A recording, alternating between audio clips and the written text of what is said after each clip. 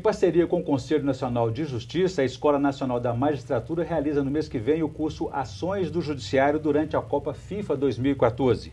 Como deverá ser a atuação judicial nos aeroportos e nos estádios? Qual é o papel na formação e preparação dos juízes da Escola Nacional da Magistratura? Esses são os principais temas de hoje do Pensamento Jurídico, uma produção da Associação dos Magistrados Mineiros, a AMAGES. Para falar sobre o assunto, nós vamos conversar com o juiz Marcelo Cavalcante Piragibe, que é diretor-presidente da Escola Nacional da Magistratura, ligada à Associação dos Magistrados Brasileiros, AMB. Ele também é titular da Vara da Fazenda Pública Estadual em Juiz de Fora, comarca na Zona da Mata de Minas Gerais, a 300 quilômetros de Belo Horizonte. É magistrado há 18 anos e já passou por cinco comarcas.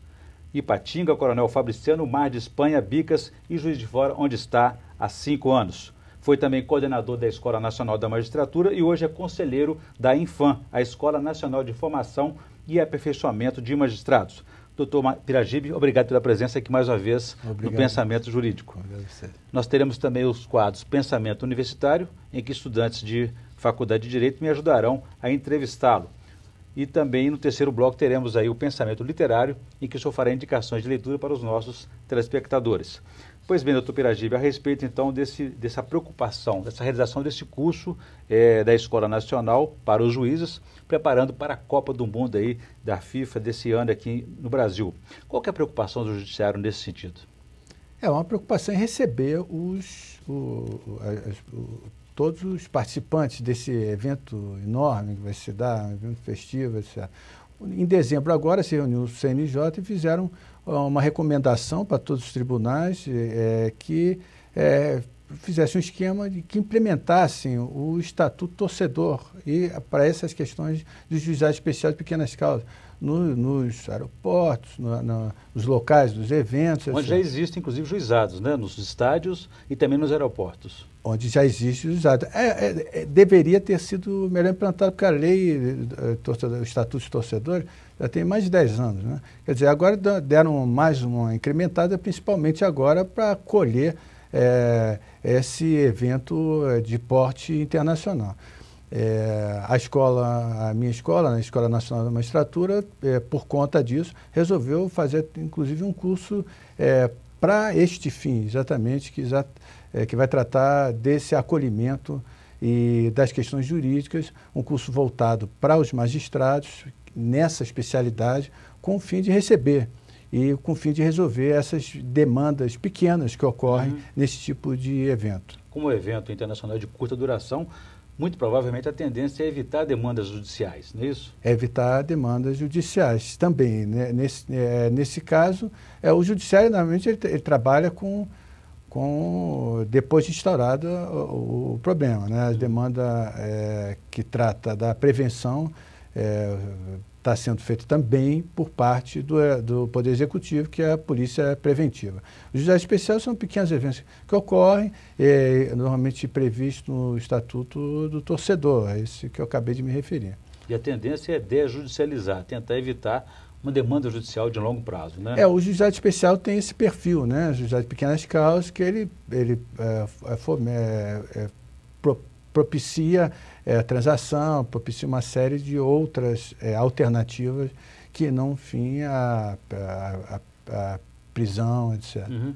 E o foco deve ser a tendência é as ocorrências de natureza criminal de pequeno de, de poder ofensivo dentro serem, dos estados. Né, seria encaminhado para esses, para esses juizados especializados para esse evento específico da Copa. Há uma mobilização nacional, né?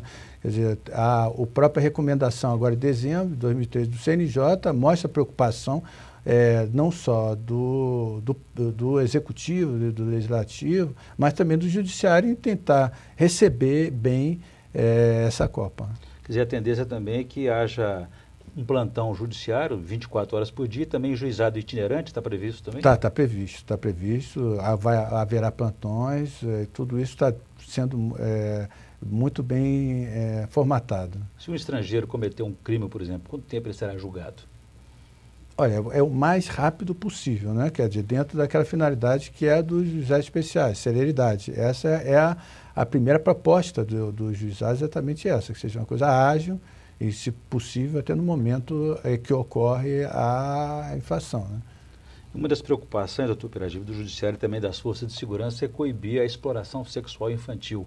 Como combater essa prática criminosa num período tão curto e com tanta gente envolvida?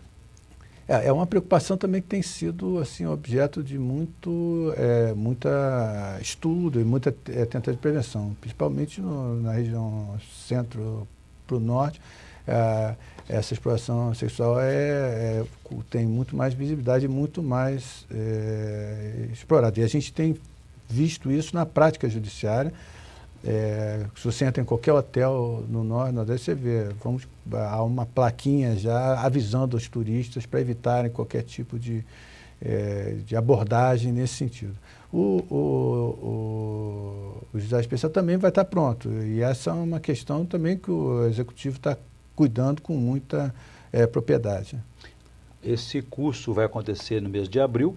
Qual o tempo de duração e quantas vagas são oferecidas? São, são dois dias, né? Está previsto para terminar essa semana. A gente vai estender por mais um tempo as inscrições. É, e é um dois dias de, de temas, desde como é, realizar essa da lei, só com especialistas e profissionais é, que têm é, entendimento forte da, da, questão e com atuação. O nosso coordenador é o, é o Ailton, Ailton Alfredo, que já trabalha nisso há muito tempo, no Juizado Especial de Pernambuco, é o nosso coordenador é, da Escola Nacional e que está na frente desse nosso curso. Muito bem. Doutor Pirati, vou fazer um intervalo. Eu gostaria que no próximo bloco a gente falasse um pouco mais sobre esse papel da Escola Nacional da Magistratura na formação e aperfeiçoamento dos magistrados. A gente volta em instantes.